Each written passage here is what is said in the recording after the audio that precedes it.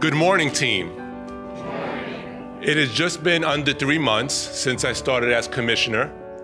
As some of you know, I was briefly with the department back in 2016 and 2017, so it's been a great honor to become reacquainted with many of you that I met then.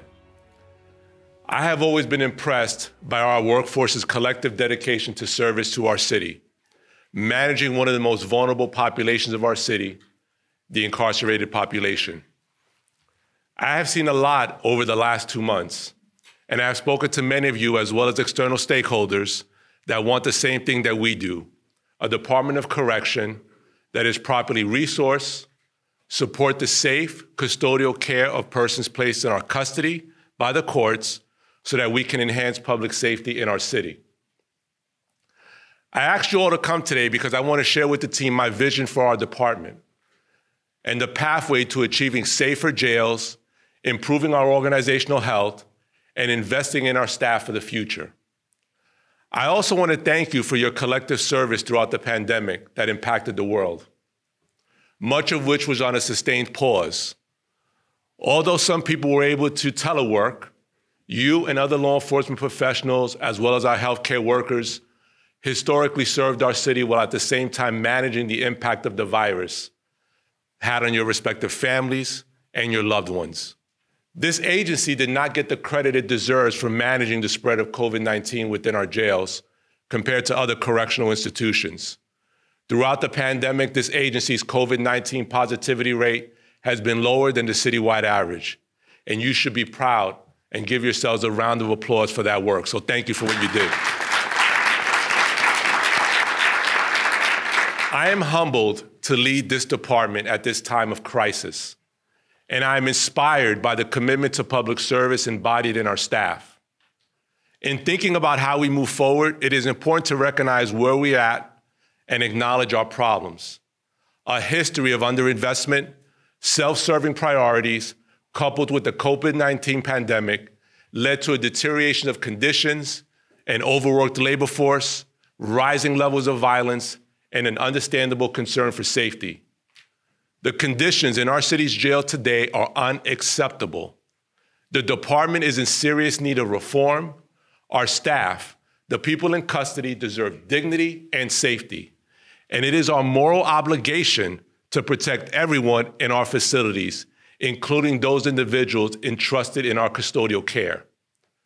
We must pursue swift action that supports our staff, improve the conditions of our facilities, and maintain safety for staff and all people impacted by incarceration in New York City. More violent offenders are being placed in our custody and staying in our care longer due to the department's admissions outpacing our discharges.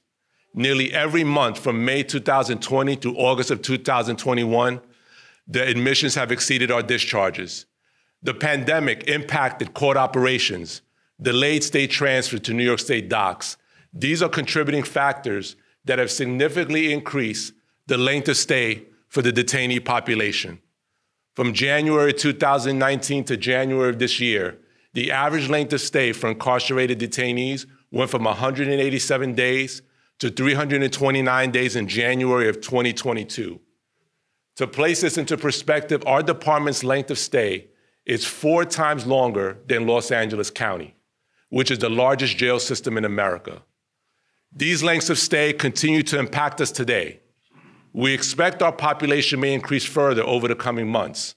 Violent crime trends are seasonal, so we anticipate more admissions in the spring and summer months, and the city's gun violence initiative may also lead to more jail admissions. This is why it is vital that we take action now and prepare for that. Our most vital resources are staff, and while our incarcerated population has been steadily increasing, the department's uniform workforce has decreased significantly. The department today has nearly 2,000 fewer correction officers at the end of December 2021 than it did in 2019. This attrition of staff, coupled with the staff that was unavailable because of the impact of the virus pandemic surges and other medical needs, caused over 30% of our uniform staff to be unavailable. But there is a bit of good news.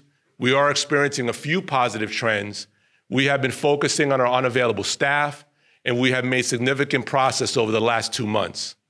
we have had over 1,300 uniformed staff return to work since the beginning of this year. And we lowered the percentage of unavailable staff from over 30% to approximately 90, 19%. But I want to be clear while this trend is promising, we still have a long way to go to get our staffing numbers back to normal. With that said, calendar year to date, staff availability is encouraging and has allowed us to return the majority of our facilities back to eight hour tours. This also allowed us to bring back external contract providers to deliver services alongside our DOC program staff. And we recently restarted in person family visits. Now, we are also seeing positive safety and security indicators moving in the right direction. Assaults on our uniform staff calendar year to date have decreased 19%. Assaults on our non uniform staff in the same time year to date frame has decreased 46%. And use of force calendar year to date has decreased 25%. But let me be clear we cannot and we will not tolerate acts of violence on staff and other persons that are placed in our custody. We cannot normalize being assaulted simply for doing your job or simply because you're a detainee in our facility.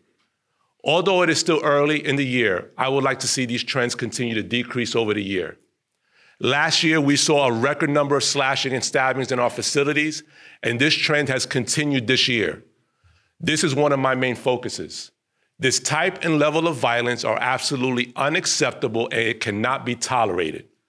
Working closely with our acting chief of security, we have begun conducting tactical search operations as well as increased unscheduled searches.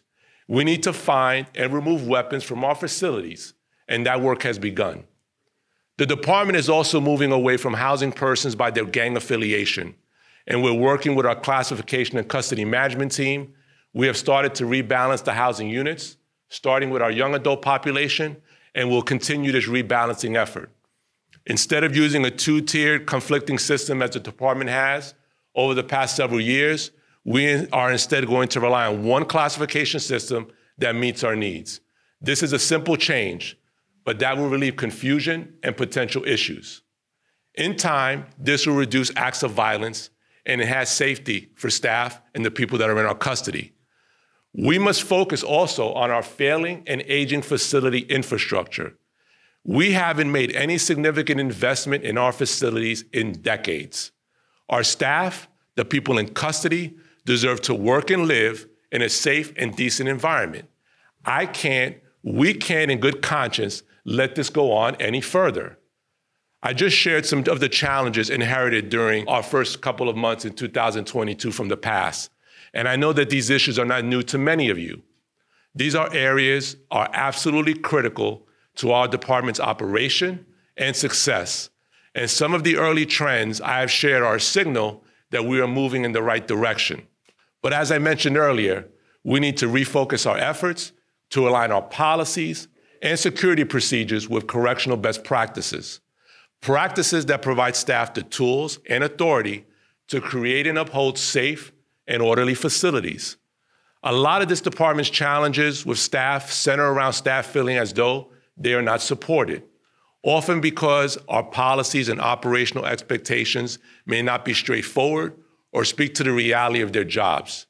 Other times, our policies are simply outdated and not aligned with current research. We are undertaking a review of our policies to ensure that they are attainable, realistic, and straightforward. We've already taken actions to streamline our classification process, rebalance our housing units.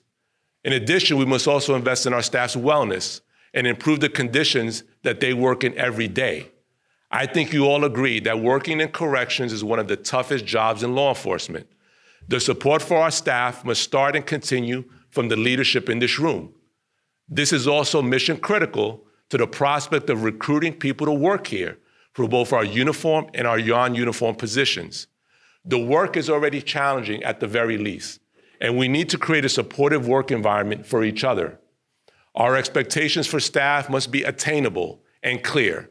And our process for staff accountability needs to focus on improving results, not gotcha moments and heavy handed disciplinary tactics. As leaders, we can't also be expected to know everything. It is equally important that we must self reflect and identify areas where we need to grow. Therefore, we will have professional development opportunities for mid level and senior leadership to help you support your team and collectively execute the mission of this agency.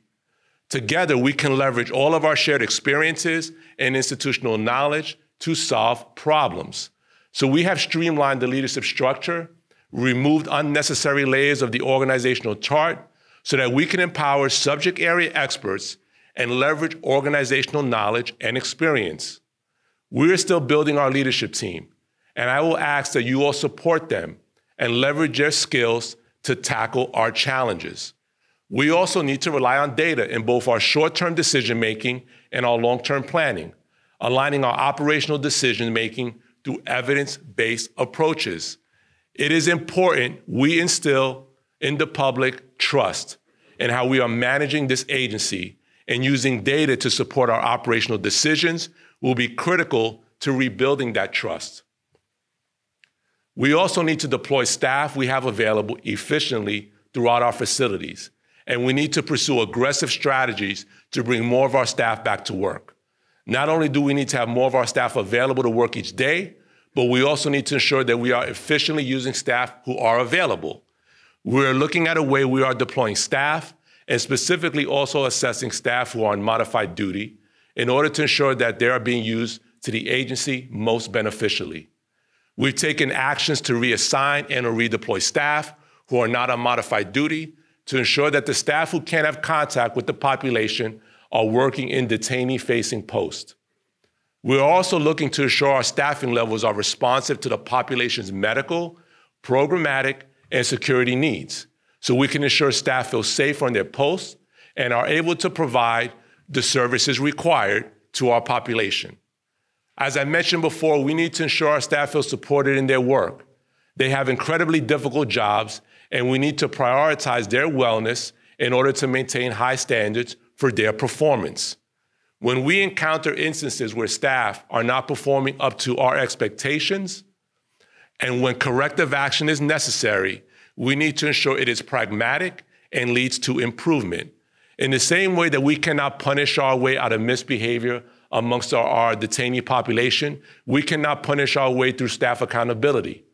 We're going to ensure that our staff accountability system is fair, transparent, timely, and meaningful. And most importantly, that it addresses issues. I spent time today talking about our staff, the agency's policies, and our organization. And I know I've covered a lot of information. But I want to take some time on this because, in many ways, it guides our work. As I see it, we need to have our staff at work. We need to have efficient policies. We need to ensure safety in our facilities.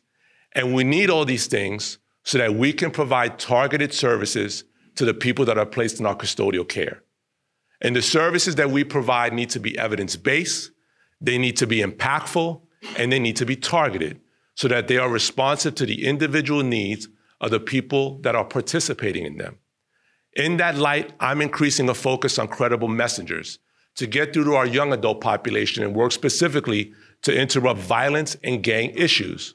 Although our population has decreased over the decade, we are now dealing with the much more challenging individuals and some people with mental health issues and co occurring substance abuse addictions. We are also continuing to prioritize escorts to medical appointments and working with our partners at Correctional Health Services to ensure that the people produced for appointments are being seen because the physical and mental wellness of the population is critical to our agency's success. We absolutely must provide people in custody support, opportunity, and most importantly, belief in change. We need to leverage our passionate workforce of programming and counseling staff, as well as our external providers and our uniform staff, to transform our facilities into learning environments. This work that I've outlined so far requires collaboration at all levels. Now, this agency has historically been defensive in its relationship with oversight bodies and community stakeholders. That needs to change. We need to be more transparent, we need to communicate our issues, and we need to rely on their support.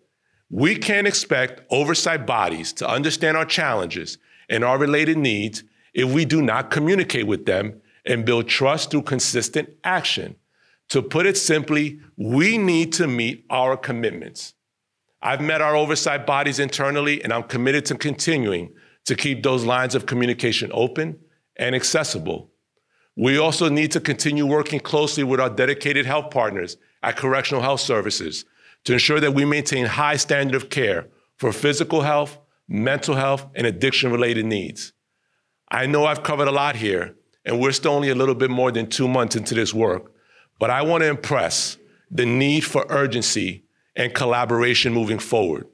We also need support from the community and the leaders of this city to ensure that we have the resources to take the necessary actions to support our staff and to ensure that our facilities are safe and productive for the people in our care.